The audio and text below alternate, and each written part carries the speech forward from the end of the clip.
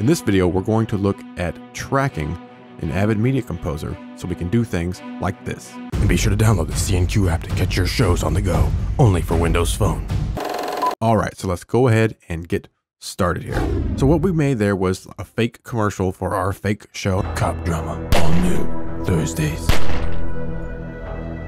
Of course, we also used Titler Pro for the uh, lettering there. And what we're going to do in this video is use our workhorse in the blend category, 3D Warp. You really need to know and love 3D Warp because it can do so much. Now we're just going to cover the basics of tracking. We're not going into an in-depth study of it. This will just be the basics that will hopefully get you up and running. So let's go ahead and get started. Here is what we're going to track. We're going to recreate this commercial here, but we're going to use different footage. So if I just hit play here, you can see we have motion on our cell phone there. So it's not as easy as just overlaying a video on that. Let me activate our video one track. I'll just pop this in just to show you real quick here. Then we'll come up to video two and we'll scroll up to the footage we want to use, which is right here. I've already got it marked with an in and an out. I thought that was the best scenes from our fake cop drama commercial here. So I think this here will be best for our uh, screen there.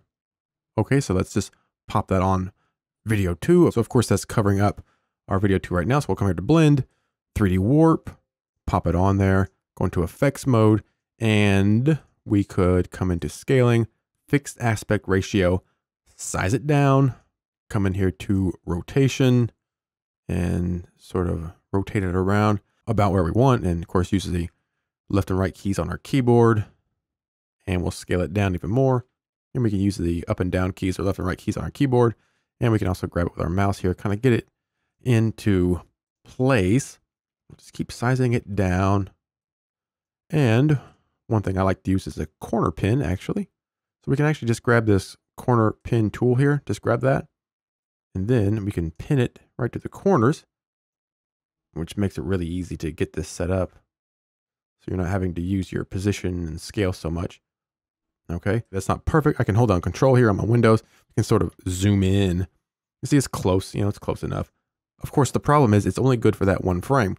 Once we start playing through and our phone starts moving, well, then it's out. Then we'd have to come back into effects mode and maybe try to do keyframing or something. But no, that's where tracking comes into place. So first, let me go ahead and remove this effect. First off here, we can see this footage doesn't actually cover the amount of time I want it to cover. So first, let me come in here to time warp. This really doesn't have anything to do with uh, tracking. Let's grab time warp, throw it on here first. Let's slow it down to somewhere around 85, 84. That should be okay. And then I can drag it out, hopefully. Okay, see, I actually need to slow it down a little more because we're getting the frame after uh, that I didn't want. Okay, so we'll just pop right back in here and let's just slow it down a little more. We'll go for about 81. That should be good. And we'll scroll through, make sure we just get the scenes we want. And that's good. Okay, so as you can see, we have our footage over top of our cell phone footage. This is how you want to set it up. We have our cell phone footage on video track one or whatever we're going to be tracking, at least in this case. And we have the video that we want to be on top of the cell phone, of course, on video track two, so above it. All right, so let's go ahead and start tracking here. First, we'll come in here to our blend category.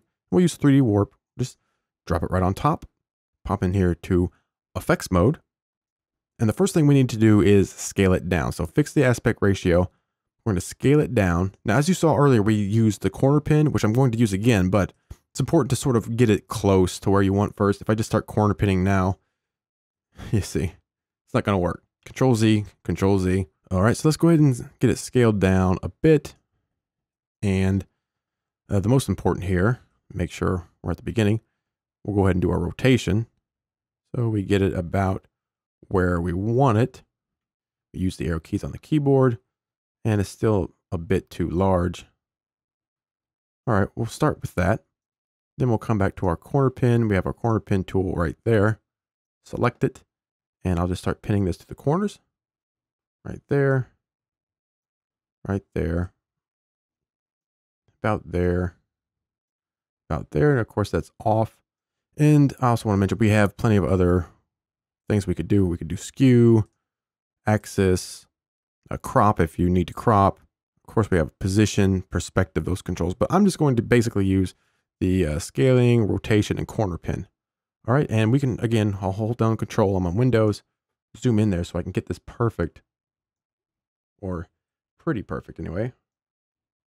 All right, now zoom out, then I'll zoom in here towards the bottom. I want to make sure I cover up all that green that's shining through, but I don't want to get her hand. So that looks pretty good from what I can see. Of course, it's not going to look good as soon as we start scrolling. So we'll come back to the first frame there, and I think that looks pretty good from what I can tell. Looks all right. Now, what we want to do, since this is supposed to be on a cell phone, and of course it depends on what you're going to be tracking and exactly what effect you're using to track. Keep in mind, you can track with a lot of different effects and have a media composer. We just happen to be using 3D Warp here just to show you the basics. What I want to do is put a border on this, just a plain black border. We have all kind of borders to choose from, bevels and round, things like that. But I think for the cell phone, the just plain black border looks pretty good.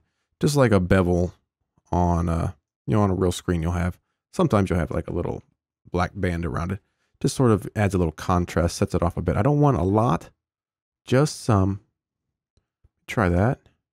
We zoom in, you can kind of see it a little better there. So I'll just pull it way up and you can see what's happening. All right. So we just want a bit of a black border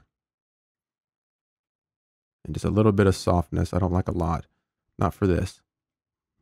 Okay, I think that looks pretty good. All right, so now what do you say we go ahead and start tracking? I'm to hit Control Shift F. You can see this full screen. And yeah, it's a little bit off here at the very beginning frame. I want to make sure I fix that first. So I'll pop back in here, make sure at the very beginning, my corner pin, let me hold down control. I'm to zoom in here. Yeah, I need to pull that down a little more. And this here needs to come out a little more there. Control Shift F, I want to see full screen. All right, I'm not seeing any green there looks pretty good like that. And of course, we play through, it's not going to work. That's why we're going to track it. We're going to use corner tracking here. We'll just expand it. And right now we have four trackers, so we'll just turn them on. As soon as I turn one on, it opens up my tracking window for me, which if uh, you can't get it back open, just come right down here to our tracking tool, and there it is.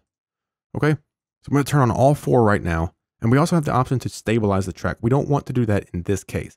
Move this over here. Move this over. So we can see what's going on. So right now we have these four trackers, but we have five spots that we can track. Now, first of all, you want to track an area of sort of high contrast, something that Media Composer can see is different from all of the pixels around it. And in this case, we have some great things to track these nice targets for us. So let's go ahead and start this. We'll just grab a tracker, place it over these uh, targets. Okay. And we'll uh, adjust those a bit in a minute. Open up our tracking tool and come right here because we have five things that we can track. I want to go ahead and create a new tracker. And this will be similar to whatever you're tracking. I'm just trying to show you the basics here. All right, so there are our, all of our trackers placed. Let's go ahead and hold on control and I'll zoom in here. I'll zoom in again. I want to make sure I get these right in the middle. And in here, you can see these bounding boxes.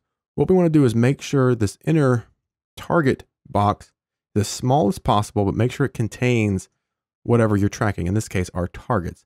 And this window here is the search area.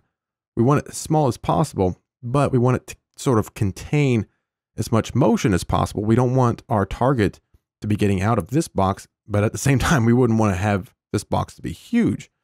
Let me zoom out a little bit so you can see, we, you know, we wouldn't want it like this because it's going to take forever to search, but we wouldn't want it like this because then the tracking data is going to be wrong. So choose an appropriately sized target and search box there. Control, and we'll zoom in here, make sure this is right. On the X, it doesn't have to always be perfect, but I like to get as close as possible. I think this box is already big enough. Let's pop in here. That looks good. Zoom out, zoom out. Let me check these here. That's not bad. Make this a little larger. Zoom out a bit. I think this box is fine. We'll check it in a minute. And then we'll pop this right there. And right there. Okay. Now, if we start to scroll through, open up our tracking box, showing the tracking data, we can show the effect results. We don't have any yet.